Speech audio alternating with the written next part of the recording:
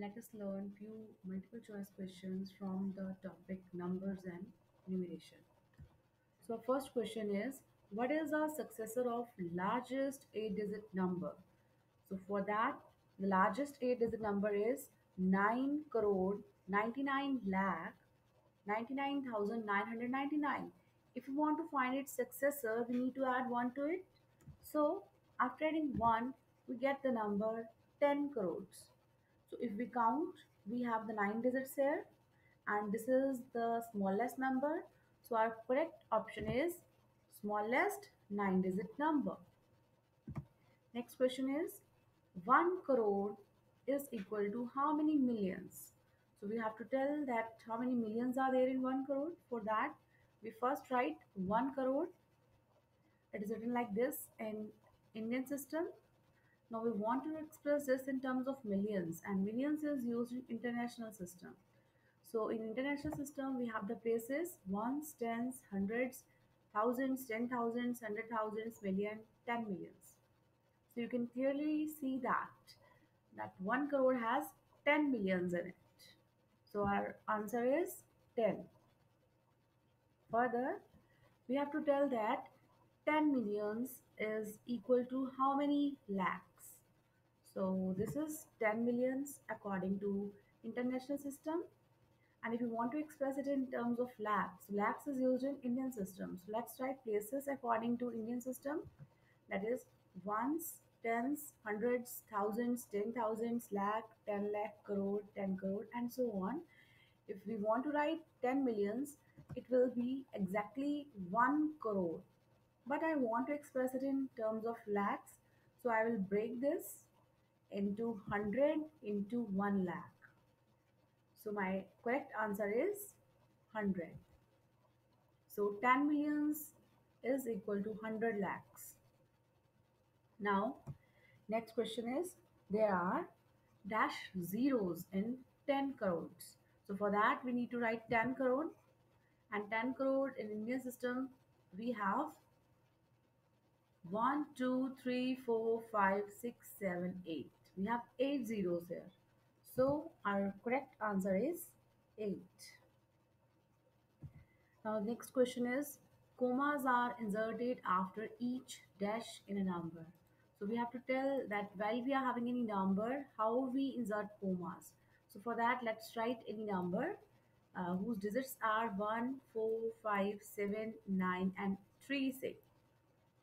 So if I want to write it according to Indian system, so I will insert the commas according to Indian system. So ones, tens, hundreds.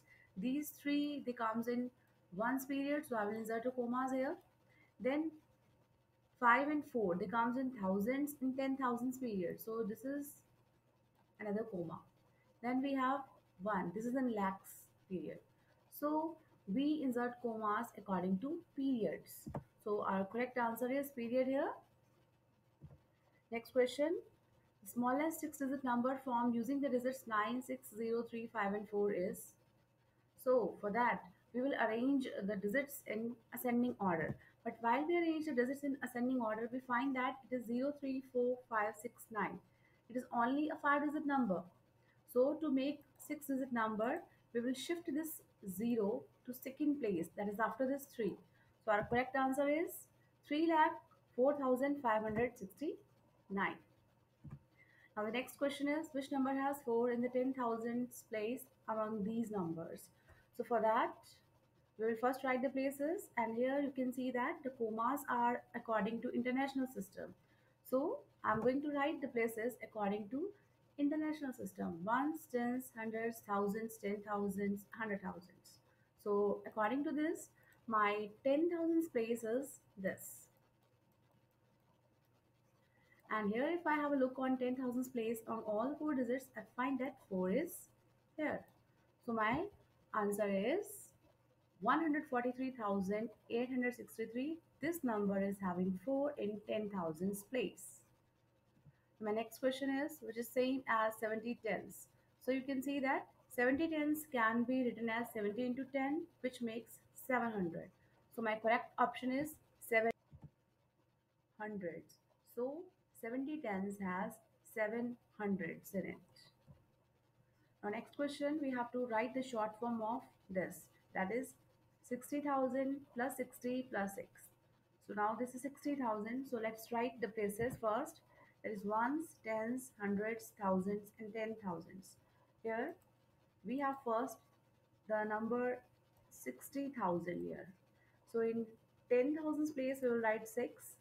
Then we have 60. So 6 will be written in tens place and this 6 will be written in ones place. The rest of the places will insert 0. So my correct answer is 60,066. Next question is here. The place value and face value of a digit are always equal at dash place. So obviously, we know very well that the place value and face value of a digit are equal at the ones place only because it is only the ones place where we have both that is the face value and place value equal. Let's uh, take an example. Say we have the number 467. We see the place value of this 7. This is also 7. And if we want to write its face value, that is also 7. So our correct answer is ones place. Thanks for watching. Please like and subscribe KSJ Fun Learning.